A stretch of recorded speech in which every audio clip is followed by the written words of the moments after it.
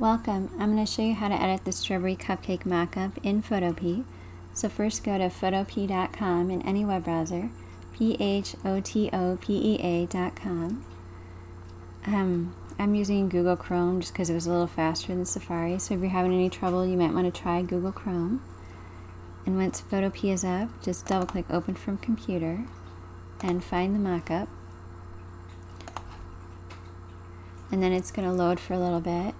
So we're going to do most of our work inside this handy layers panel right here.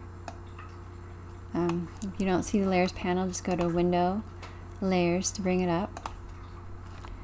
So if you want to add a design to the uh, circular topper here, just click the little arrow next to the topper layer group to expand it. And then double click the thumbnail icon in the design dash topper layer.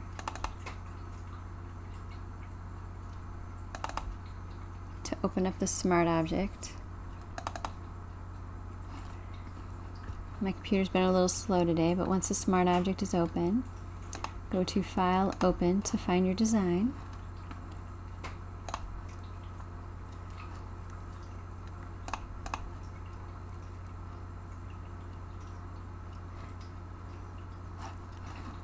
And we're going to go to Select All. And then edit, copy. And then we're going to click back on the smart object and go to edit, paste. And you might need to resize that. So do that, we'll just click on the layer. Um, I'm pressing Command minus to zoom out. It would be Control minus on a PC. We're just going to hold on the shift key and then click on any of the four corners and drag in to make it smaller or out to make it bigger. Um, might have to move that so we'll just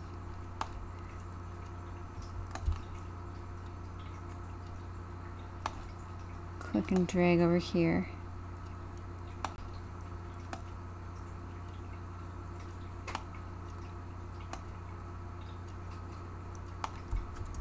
We'll press Command plus to zoom back in.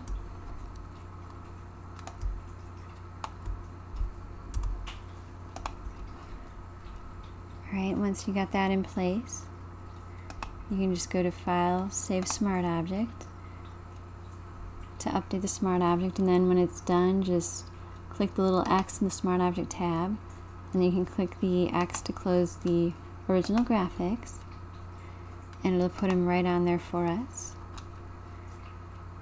If your graphics have a white background to make it look a little more natural, you could change the blend mode on this design layer here from normal to multiply. If you wanted to add a design to the liner, you would just expand this liner front group and then double click the thumbnail icon in the design dash liner front layer and repeat the steps. You can also change the colors of the topper and the liner.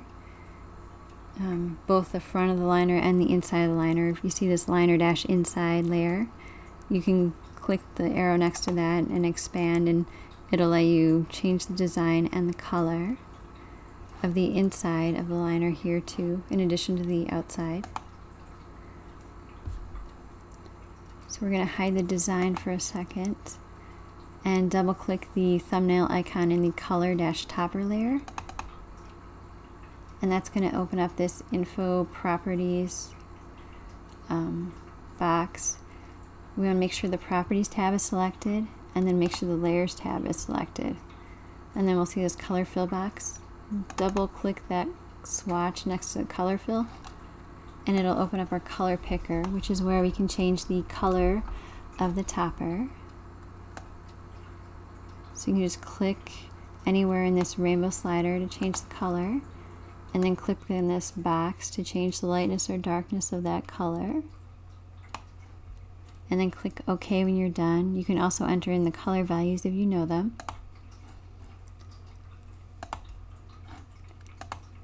And you know, you can change the color of the liner if you want to as well by double clicking on the thumbnail icon in the color dash liner front layer group. And of course, properties tab needs to be selected as well as layer. And then we'll double click the color swatch again. Now if you wanted the exact same color on both the topper and the liner, the easiest way to do that would be to copy and paste the uh, color value. So like here the hex value is C5E5F4. So we'll press Command C to copy that. On a PC it would be Control C.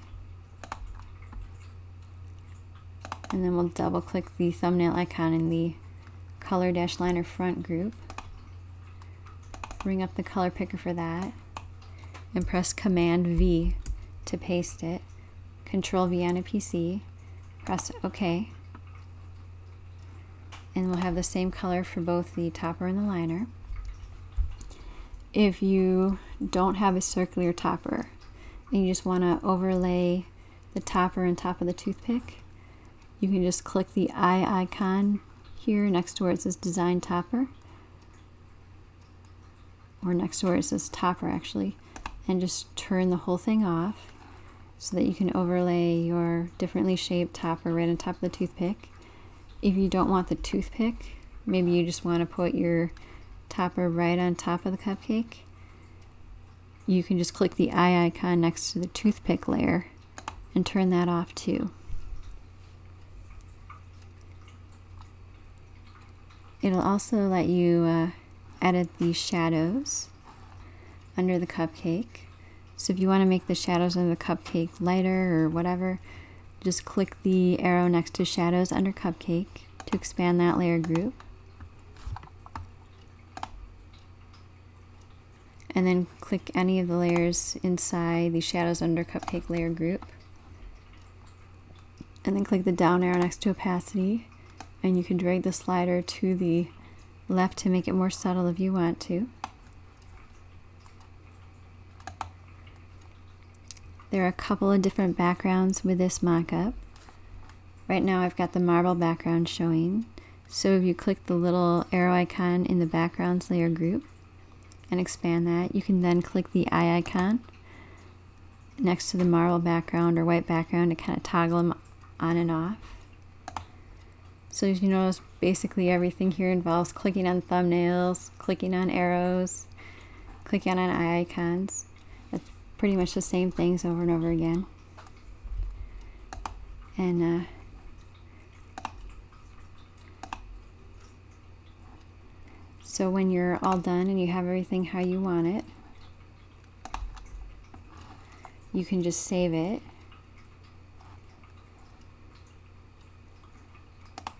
Go to File, Export As, and if you want to use this as a thumbnail like on Etsy, you can go export as JPEG. If you want to save a version of the layered PSD file, you can come back here and then go File, Save as PSD. Please uh, let me know if you have any questions by messaging me at melissabmockups.com. And don't forget to like and subscribe so you get updates to future videos. And as always, this mockup and other mockups are available at melissabmockups.com. Thank you.